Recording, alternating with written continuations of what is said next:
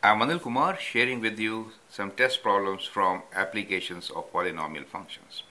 Here is one of the most popular questions from the test papers.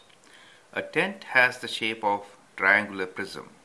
The volume of the tent is x cubed plus 7x squared plus 11x plus 5 cubic units. Triangular face of the tent is 2x times 2x plus 2 units wide and x plus 1 units high how long is the tent? Well, as you know, the volume for triangular prism will be uh, area of the base into height. Now, since the triangle is is considered to be the base, area of triangle is half base times height, and then the length will give us the volume, right? So that is how you get the expression for volume. Since we need to find the length, we know base and height and the volume we can divide volume by half base into height to get length. So the length is equals to volume divided by half base times height. So that is the strategy for us. Now base is given to us.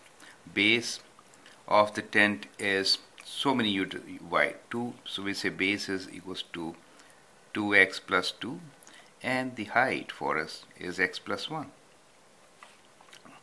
so half times base into height will be, that is the area, right? So we can say area equals to half times, which is base 2x plus 2 times x plus 1, right? So if you simplify, this 2 will cancel into these 2's. We can factor them out.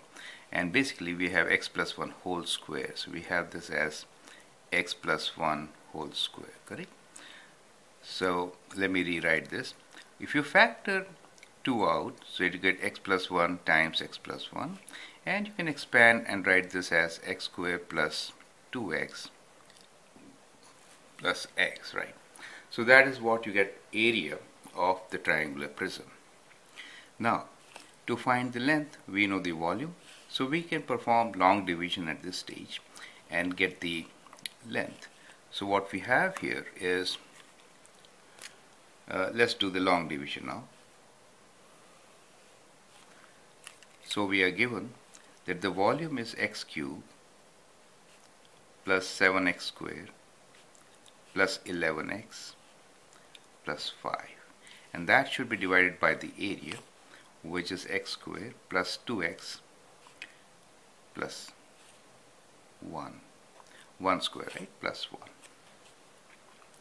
now if I divide it, what do I get? I get x times x cube plus 2x squared plus x. And when you take away from here you get 5x squared plus 10x plus 5 now we can multiply by plus 5 so you get 5x squared plus 10x plus 5 remainder is 0 so that means when you divide the volume by the area, you get the length, which is x plus 5, correct? And therefore we can say our answer is length L equals to x plus 5 units, right? So that is how the question should be done. I hope that helps. Thank you and all the best.